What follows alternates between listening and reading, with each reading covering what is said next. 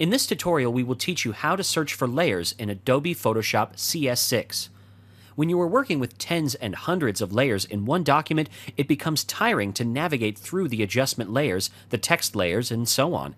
What Photoshop CS6 has done is that you can easily search for layers within the Layers panel. All you have to do is go in the Layers panel, click on Kind, and then click on T to see the text layers. If you want to look at the effects layers, only then select Effect and Outer Glow gets selected, so you are viewing the layers with those effects.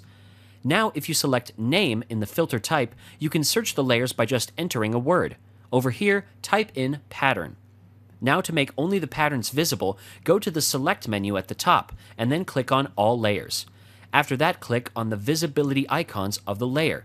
Select Show and Hide all other layers, and only the layers named Pattern will be visible to us on the document.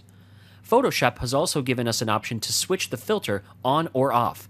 There is an orange square on the right of the Layers panel. As soon as you click it, the layer filtering will be turned off, and the filter type area will become inaccessible.